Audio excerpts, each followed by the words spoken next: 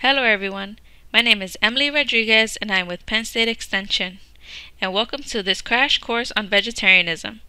This video will focus on informing the public of the vegetarian diet, exploring important nutritional factors vegetarians need, and explaining key health benefits the diet provides as promoted by the USDA dietary guidelines. Although many may know what a vegetarian diet is, many do not know the actual definition. The Vegetarian Society states a vegetarian is someone who lives on a diet of grains, pulses, nuts, seeds, vegetables, and fruit with or without the use of dairy products and eggs. A vegetarian does not eat any meat, poultry, game, fish, shellfish, or byproducts of slaughter.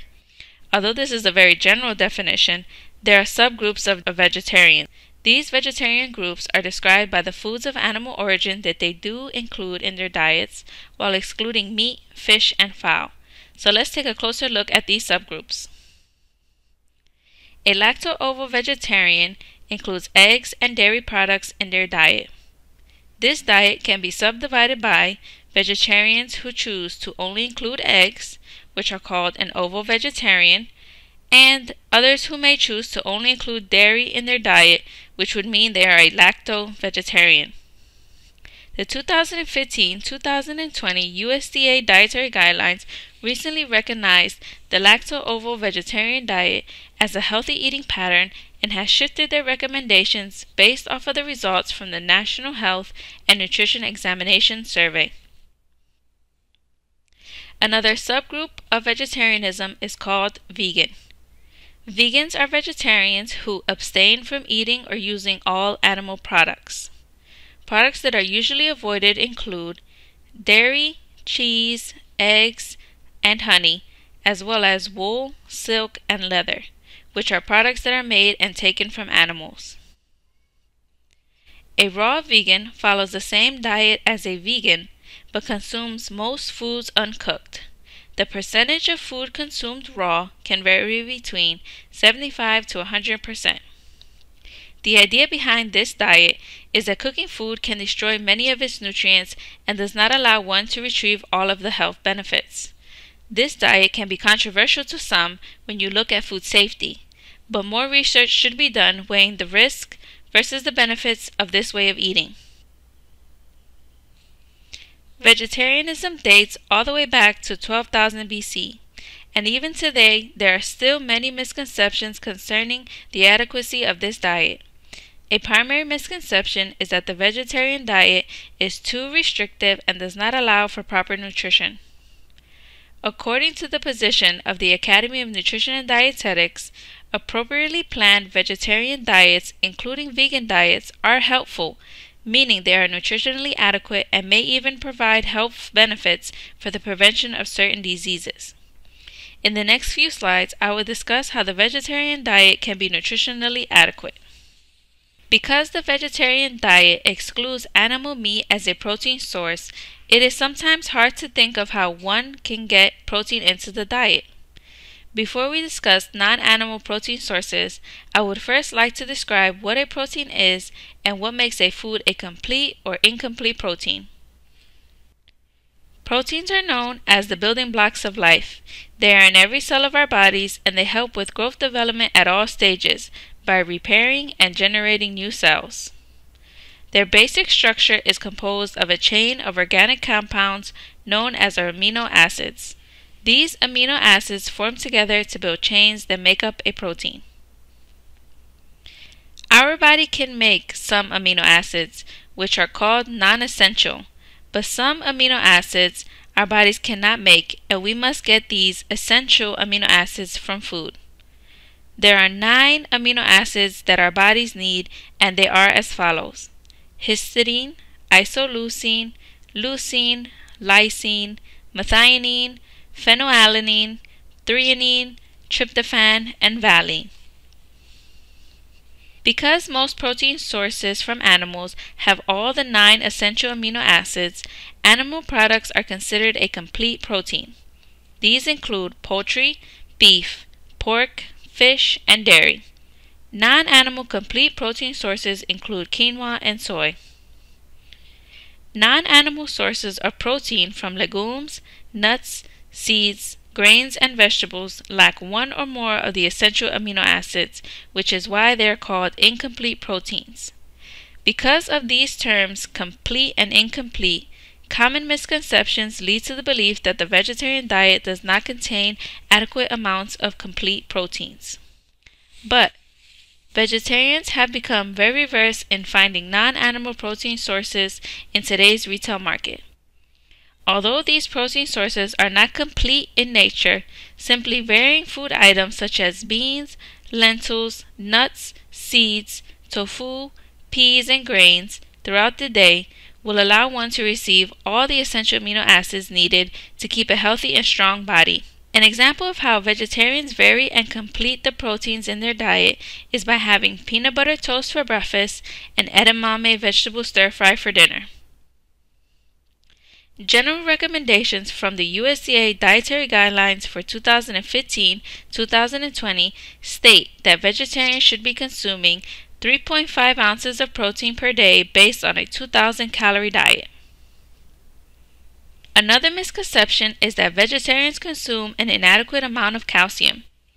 For many lacto-ovo vegetarians, it is easy to meet or exceed the recommended daily allowance otherwise known as the RDA for calcium, because they have made the choice to add dairy products into their diet. As for vegans, it is not always as easy to meet this requirement. The recommended dietary allowance for adults are as follows. Men 19 to 70 years of age should consume 1000 milligrams of calcium per day, while men 71 years of age or older should consume around 1200 milligrams. Women between the ages of 19 and 50 should consume 1,000 milligrams, while women 51 years of age or older should consume 1,200 milligrams of calcium. Although many green leafy vegetables, including spinach, beet greens, and Swiss chard, are high in calcium, they also have oxalates, which do not make the calcium readily available in the body. Oxalates are natural forming substances that support healthy metabolism in plants, animals, and humans, but may have some negative effects. Because oxalates bind to calcium, the calcium becomes unavailable for the body to use in your bones. A good recommendation for those seeking to add non dairy calcium in their diet is to consume low oxalate vegetables such as kale, turnip greens, and Chinese cabbage. Also, good sources of calcium comparable to milk would be calcium fortified tofu and fortified plant based milk alternatives. With the addition of some of these foods to the vegan diet, one will be able to obtain enough calcium to meet recommendations. A third important nutrient for vegetarians is vitamin B12. B12, like other B vitamins, is used in protein metabolism. It helps the body form red blood cells and it plays a role in maintaining the central nervous system. B12 is often a part of the vegetarian diet discussion because B12 is not naturally found in plant foods. Daily allowances for this vitamin are as follows. Men and women over the age of 14 require 2.4 micrograms of vitamin B12 while pregnant and lactating women should receive 2.6 to 2.8 micrograms respectively. As for sources, lacto-ovo vegetarians meet the recommendations for B12 through the consumption of eggs and dairy. But those who follow a vegan diet may fall short in getting this important vitamin. According to the Academy of Nutrition and Dietetics, choosing a variety of foods fortified with B12 can allow for this vitamin to be available in the body for use.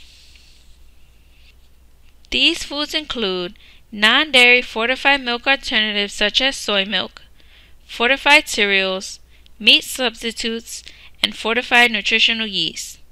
Remember to look at the nutrition label to see if fortified foods have been fortified with B12.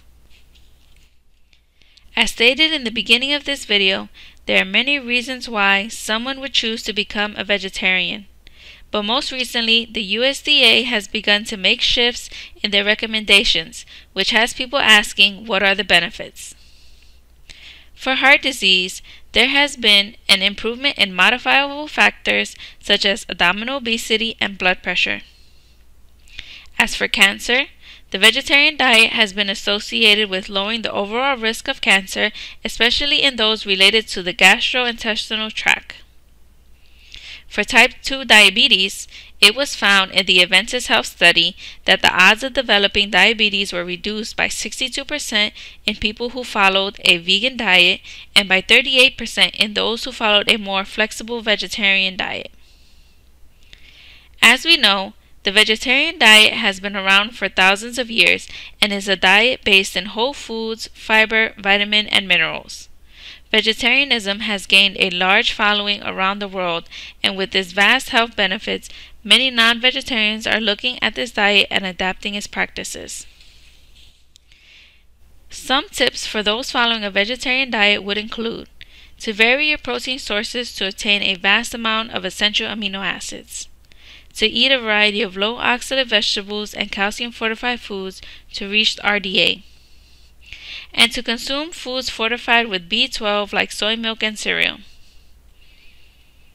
Thank you for taking this crash course on vegetarianism with me, and I hope to have provided you with a vast amount of knowledge on vegetarianism.